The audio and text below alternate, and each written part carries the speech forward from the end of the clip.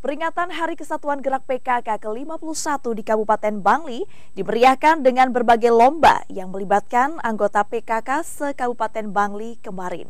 Peringatan turut dirangkai dengan hari jadi ke-819 Kota Bangli.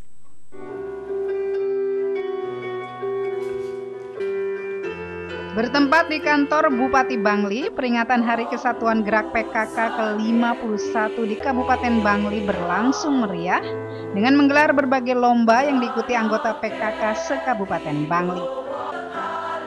Salah satu lomba yang digelar adalah paduan suara yang diikuti delapan kelompok peserta dari empat kecamatan.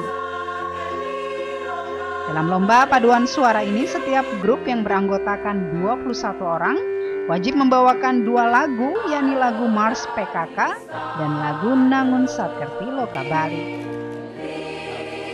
Selain itu juga terdapat lomba pidato 10 program pokok PKK, lomba kader penyuluh Pokja, dan lomba senam Nangun Sakerti Loka Bali.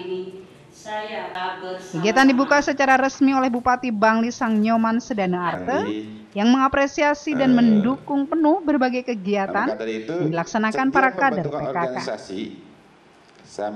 Eh, kekuatan ibu-ibu PKK ini bergerak secara serentak, memotivasi, melakukan sosialisasi ke keluarga-keluarga, ini benar-benar akan bisa eh, menumbuhkan atau membuat keluarga-keluarga kecil yang handal dan bisa mendukung dan melakukan membantu melakukan pembangunan di segala bidang. Memotivasi dirinya bagaimana mereka supaya tampil maksimal dan bisa memperoleh juara seperti yang diharapkan.